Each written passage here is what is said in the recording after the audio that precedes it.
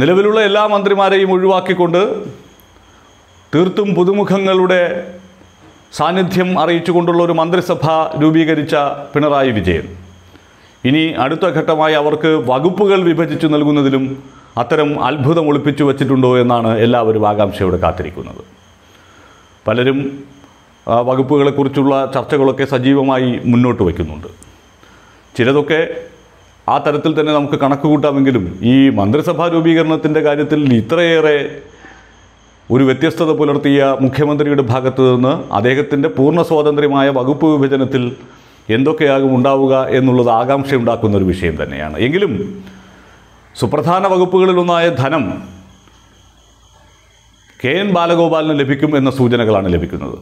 ഈ ധനകാര്യ മേഖലയിലുള്ള ഇടപെടലുകൾ നടത്തുന്ന ആളാണ് അദ്ദേഹത്തിന്റെ സഹോദരൻ നേരത്തെ ആസൂത്രണ ബോർഡ് അംഗവുമൊക്കെ ആയിരുന്ന ആളാണ്. ആ നിലയിൽ തന്നെ ഒരു സാമ്പത്തിക മേഖലയുമായി ബന്ധപ്പെട്ട് പ്രവർത്തിക്കുന്ന ഒരാളെന്നുള്ള നിലയിൽ കെ എൻ ബാലഗോപാലിന് ധനകാര്യ വകുപ്പ് ഏൽപ്പിക്കുമെന്ന സൂചനകളാണ് വരുന്നത്. വ്യവസായ വകുപ്പിലേക്ക് പി രാജീവ് എത്തും എന്ന സൂചനകളുണ്ടാകുന്നു കാരണം മറ്റൊരു സുപ്രധാന വകുപ്പായ പൊതുമരാമത്ത് വകുപ്പ് കേരള കോൺഗ്രസിന് വിട്ടുകൊടുക്കുമോ ഇല്ലയോ എന്നുള്ളൊരു ആശയക്കുഴപ്പം നിലനിൽക്കുന്നു. അങ്ങനെ ഇല്ല എങ്കിൽ വിട്ടുകൊടുക്കുന്നില്ല എങ്കിൽ അത് ഗോവിന്ദൻ മാസ്റ്ററുടെ കൈവശമെത്തും. ഇല്ല എങ്കിൽ വൈദ്യുതി വകുപ്പ് വിട്ടുകൊടുക്കേണ്ടി വരും. ആ വൈദ്യുതി വകുപ്പ് ഇനി പാർട്ടി കൈവശം വയ്ക്കുന്നു. പൊതുമരാമത്ത് വകുപ്പാണ് കേരള കോൺഗ്രസിന് കൊടുക്കുന്നതെങ്കിൽ ഏതാണോ അത് അത് ഗോവിന്ദൻ മാസ്റ്ററിലേക്ക് എത്തും. മന്ത്രിസഭയിലെ രണ്ടാമനായി കണക്കാക്കപ്പെടുന്ന ആളാണ് ഗോവിന്ദൻ മാസ്റ്റർ. പക്ഷേ അദ്ദേഹത്തിന് ഈ പറയുന്നത് പോലെ പൊതുമരാമത്തോ അല്ലെങ്കിൽ വൈദ്യുതി വകുപ്പോ ആയിരിക്കും ലഭിക്കാൻ സാധ്യത. മറ്റൊരു കേന്ദ്ര കമ്മിറ്റി അംഗമായ കെ രാധാകൃഷ്ണൻ നിയമം പാർലമെന്ററി കാര്യം പട്ടികജാതി പട്ടികവർഗ ക്ഷേമം തുടങ്ങിയ വകുപ്പുകളായിരിക്കും കൈവശം വയ്ക്കുക. നിയമമന്ത്രി എന്നുള്ളത് വളരെ പ്രധാനപ്പെട്ട ഒന്നാണ്. അതുകൊണ്ട് തന്നെ കഴിഞ്ഞ തവണ എ കെ ബാലൻ കൈവശം വച്ചിരുന്ന സാംസ്കാരികം ഒഴികെയുള്ള വകുപ്പുകൾ കെ രാധാകൃഷ്ണനിലേക്ക് എത്താനുള്ള സാധ്യതയാണുള്ളത്. പിന്നീടുള്ളത് സുപ്രധാനമായ ഒരു വകുപ്പ് ആരോഗ്യ വകുപ്പാണ്. ഈ ആരോഗ്യ വകുപ്പിലേക്ക് ഒരു വനിതയെ തന്നെ പരിഗണിക്കുക എന്ന ചിന്ത തന്നെയാണ് പൊതുവെ ഇടതുമുന്നണിക്ക് ഉള്ളത് സി പി എമ്മിനുള്ളത്. പക്ഷേ മുഖ്യമന്ത്രി എന്ത് തീരുമാനമെടുക്കുമെന്നുള്ളത് എല്ലാവരും ആകാംക്ഷയോടെ കാത്തിരിക്കുന്നു. വീണ ജോർജിന്റെ പേരിനാണ് മുൻതൂക്കമെങ്കിൽ പോലും വീണ ജോർജിനേക്കാൾ പാർട്ടിയുമായി കൂടുതൽ അടുത്ത് നിൽക്കുന്ന ആളെന്നുള്ള നിലയിൽ ബിന്ദുവിന്റെ പേര് ആ സ്ഥാനത്തേക്ക് പരിഗണിക്കുന്നുണ്ട്. ബിന്ദുവിനെ ഉന്നത വിദ്യാഭ്യാസ മന്ത്രി സ്ഥാനത്തേക്കും പരിഗണിക്കുന്നുണ്ട്. അവർ കോളേജ് പ്രൊഫസറൊക്കെ കോളേജ് പ്രിൻസിപ്പളൊക്കെ ആയിരുന്ന ആൾ എന്നുള്ള നിലയിൽ.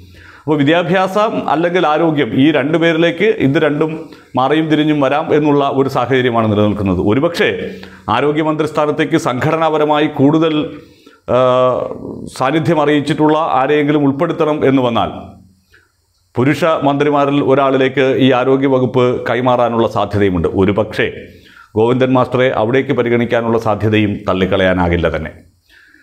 പിന്നീട് മുഹമ്മദ് റിയാസ് മുഹമ്മദ് റിയാസ് യുവജനകാര്യവും സ്പോർട്സും അടക്കമുള്ള വിഷയങ്ങൾ ഇനിയിപ്പോൾ ബിന്ദുവിലേക്ക് ആരോഗ്യ വകുപ്പോ മറ്റേതെങ്കിലും വകുപ്പോ വരികയാണെങ്കിൽ ഉന്നത വിദ്യാഭ്യാസ വകുപ്പ് കിട്ടാനുള്ള സാധ്യതയും മുഹമ്മദ് റിയാസിൽ നിലനിൽക്കുന്നുണ്ട്. എക്സൈസ് വകുപ്പ് വി എൻ വാസവനായിരിക്കും കൈകാര്യം ചെയ്യുക. തദ്ദേശ ഭരണ വകുപ്പ് സജി ചെറിയാനിൽ നിക്ഷിപ്തമാകാനുള്ള സാധ്യതയാണ് ഇപ്പോൾ ഉയർന്നു വരുന്നത്. തിരുവനന്തപുരത്ത് നിന്നുള്ള മന്ത്രിയായ ശിവൻകുട്ടി കഴിഞ്ഞ തവണ കടകംപള്ളി സുരേന്ദ്രൻ കൈകാര്യം ചെയ്തിരുന്ന സഹകരണ ദേവസ്വം വകുപ്പുകൾ കൈകാര്യം ചെയ്യും. ടൂറിസം വകുപ്പ് അവിടെ നിന്ന് എടുത്തു മാറ്റി മറ്റൊരു മന്ത്രിയിലേക്ക് നൽകും എന്നാണ് ഇപ്പോൾ പുറത്തു വരുന്ന സൂചനകൾ.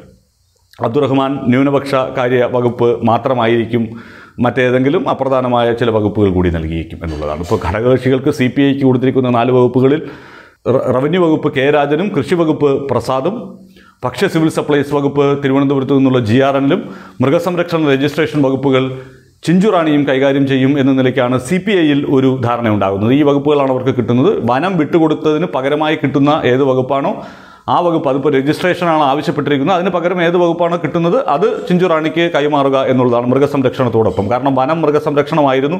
നേരത്തെ കെ രാജു കൈകാര്യം ചെയ്തിരുന്ന വകുപ്പ്. അതിൽ വനം നഷ്ടമാകുന്നു. പകരം കിട്ടുന്ന വകുപ്പ് കൂടി ചിഞ്ചുറാണിക്ക് കൊടുക്കുക എന്നുള്ളതാണ് സി പി ഐയിൽ ഉണ്ടായിരിക്കുന്ന ധാരണ. ഫിഷറീസും തുറമുഖവും ആയിരിക്കും ആന്റണി രാജുവിന് കൈമാറാനുള്ള സാധ്യതയുള്ള വകുപ്പ്. അതോടൊപ്പം എൻ സി പിക്ക് നിലവിലുള്ള ഗതാഗതം ഏറ്റെടുക്കുന്നതിനെക്കുറിച്ചുള്ള ചർച്ചകൾ നടക്കുന്നു. അങ്ങനെ അത് സി പി എമ്മോ മറ്റേതെങ്കിലും കക്ഷിയോ ഏറ്റെടുക്കുകയാണെങ്കിൽ അതിന് പകരമായി അവർക്ക് ഏതെങ്കിലും വകുപ്പ് നൽകുന്നതിനുള്ള ചർച്ചകൾ നടക്കുന്നുണ്ട്. ജനതാദളിൽ നിന്ന് ജലവിഭവം ഏറ്റെടുത്തിട്ട് അവർക്ക് മറ്റൊരു വകുപ്പ് കൈമാറുന്നതിനെക്കുറിച്ചുള്ള ചർച്ചകളും സജീവമാകുന്നു. അങ്ങനെ ചില വകുപ്പുകളിൽ ഉണ്ടാകുന്ന വച്ചുമാറ്റങ്ങൾ ഈ പറയുന്ന സാധ്യതകളെ അങ്ങോട്ടും ഇങ്ങോട്ടും മാറ്റിമറിക്കാനുള്ള ഇടയുണ്ട് എങ്കിൽ പോലും സുപ്രധാനമായ വകുപ്പുകളുടെ കാര്യത്തിൽ അതിൽ ആരോഗ്യ വകുപ്പ് ഒഴികെയുള്ള വകുപ്പുകളുടെ കാര്യത്തിൽ ഏകദേശ ധാരണ ഉണ്ടായിട്ടുണ്ട് എന്ന് തന്നെയാണ് നമുക്ക് മനസ്സിലാകുന്നത്.